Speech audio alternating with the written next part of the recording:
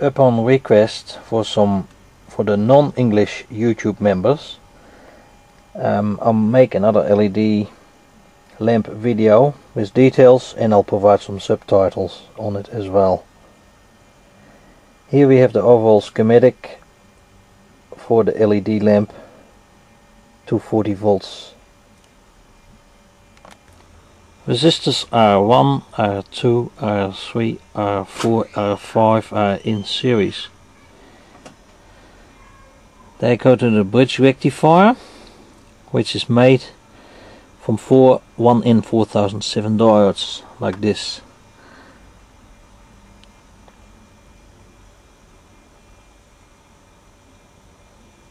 And that's the schematic with the, how the diode is with the ribbon on the right hand side.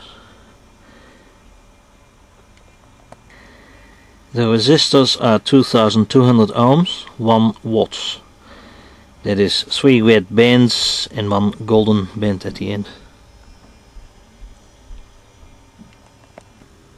Assembly in the fitting. Discarded CFL fitting. The diode stack. This is one leg of the 240 volt side, three resistors in series and the other leg from the terminal goes on the other terminal. So we end up with that and that terminal which gives us our voltage to drive our LEDs via the bridge rectifier. These are correct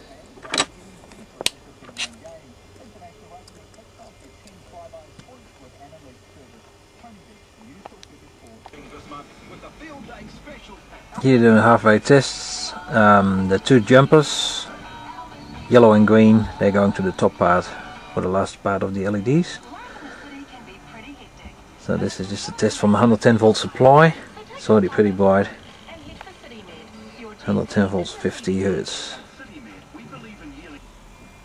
Test before soldering in. Two jumpers have been soldered to the single, to the center point, center plate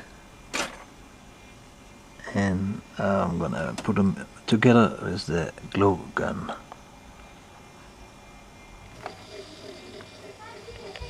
After testing and knowing that the lamp works satisfactorily we can put it all together with the glue gun. Just a simple glue gun like this. Perfect.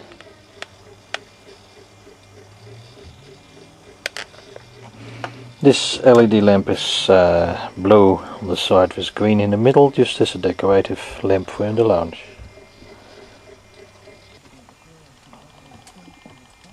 Okay, we're testing at 240 volts.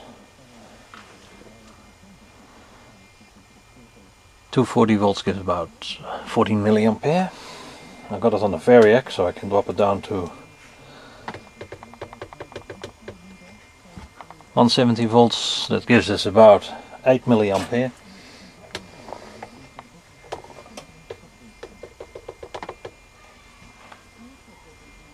One ten volts gives about 4 milliampere.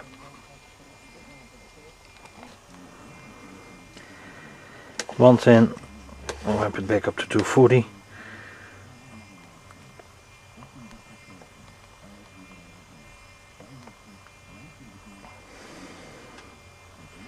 Turn the light off. It's the LED lamp. Always important put the rating on 240 volts, 14 milliampere and the assembly date 0610. Final results.